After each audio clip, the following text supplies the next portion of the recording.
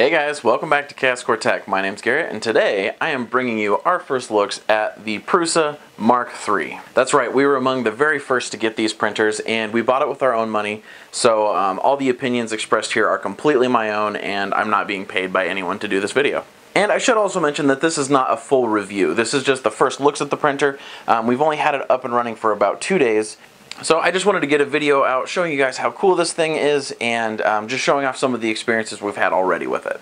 But I will be doing a full review of this machine at some point in the future once I've had more time to fully test out all the features and uh, form my opinion around it. So we got this kit over the weekend and Chelsey actually put this together completely by herself. I was in the room, we actually live streamed it on Twitch, um, so the chat was joining in and everything, but Chelsey was the one who put everything together. She followed all the instructions, all I did was just hand her the occasional tool. And this was her first kit ever. She did help me put together the um, multi-material upgrade for the Mark II, but aside from that she has had no kit experiences with 3D printers. The whole thing took roughly 11 to 12 hours for her to complete. We streamed it over two days over on Twitch. Um, the videos are still actually up there over on Twitch. I'll put a link to our channel down below so you can go watch those in full if you'd like. But I think that really speaks to how well the instructions are put together because it's definitely not an easy thing assembling a kit completely from scratch and wiring up all the electronics and stuff like that. So one, good on Prusa for making sure that the instructions were easy to follow. There were a few hiccups, but we could get through them pretty easily. And then two, I'm extremely proud of Chelsey for putting this together herself. It's been running flawlessly. So now that it's completely together and we've gotten a few test prints off of it, the first thing that strikes me is how quiet it is. Um, it's running right next to me, I've got a mic right here, and I'm sure you guys can hear it a little bit, but it is super quiet. And I've had quiet printers before, I've, I've also had very loud printers. This thing is in a new league. Like, we will just be um, a couple feet away. I'll be standing in the doorway right over there, and this room will be dark, and I actually don't know if it's printing until it makes a major move. And on some prints, it doesn't make those types of moves at all. So I actually have to turn the light on and visually confirm that it's still printing. It's very jarring, but it's very, very cool.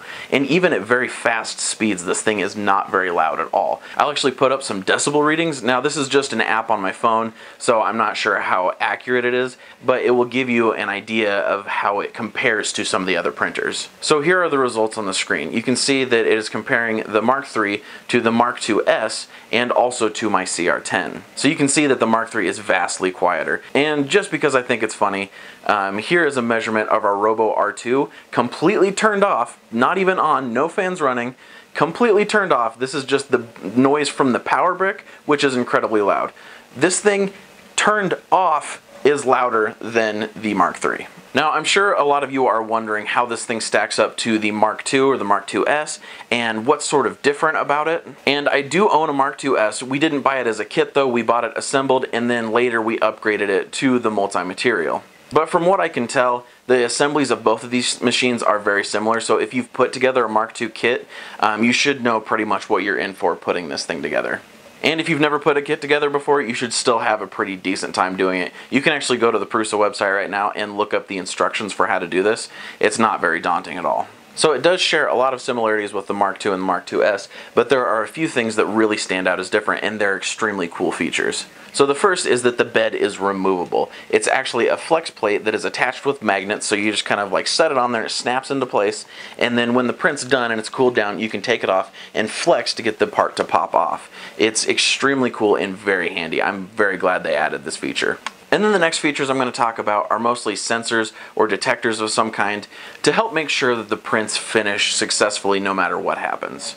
And there are three main ones, and I've tested them out so far. So the first is power failure recovery. So Prusa actually figured out a way to store enough energy inside the capacitors that if the power is just completely cut off, it has enough juice left in it to um, stop extruding, retract a little bit, and record the position that it's in. And I've even heard some people say that it can home off to the side so it gets away from the printer, but in my experiences it didn't have quite enough juice to do that, so it just kind of stopped where it was.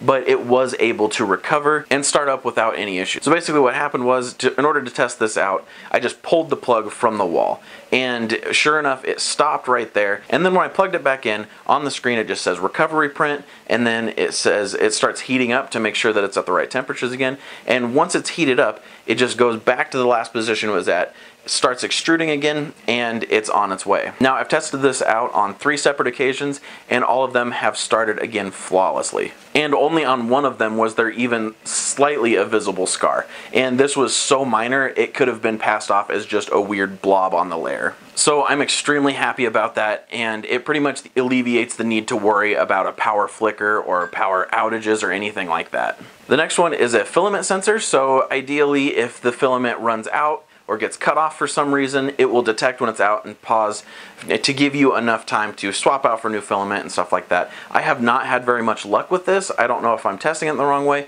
I just snipped the um, filament right at the top and it just kind of kept extruding and didn't stop or anything like that. You can actually see on this vase here, I'll put some close-ups, but there's a ring around the top where I tried to do this and it just didn't detect and kept trying to extrude with no plastic. I did eventually force the plastic back in there so it finished, but there's a very noticeable ring here where it was not extruding properly.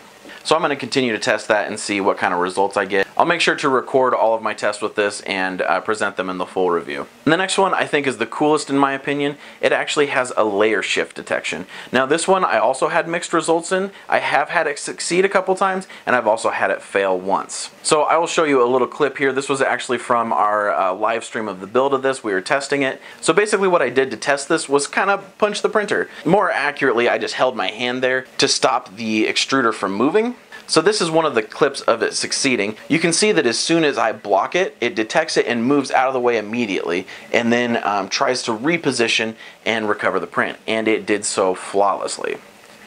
Now we tried to do this again and this time I actually gave it a little bit of a push. I didn't just leave my hand there um, and it did not detect it and just kept printing, shifted several centimeters off of the print. So I would say I got mixed results there, but like I said with the last one, I will continue to test and let you guys know what I come up with in the final video.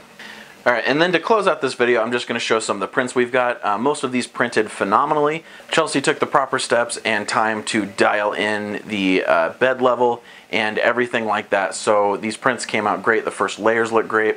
The only issues you can see is the one I mentioned previously on the vase where I tried the filament detection thing and it didn't work. And also this dragon here uh, does not look great because we actually had one of the screws kind of wiggle loose and that caused the print to be messy, but it still did finish and then Chelsey was able to fix that up and we haven't had any issues since then. So if you want to know more about this printer, I'll put a link to their website right down below where you can see all of the new features and stuff like that. Like I said, I am not um, supported by or affiliated with Prusa in any way. I just genuinely like these printers. We bought them all with our own money and I'm excited to keep using this printer. So um, you'll definitely see this printer in some of my upcoming videos and probably well into the future.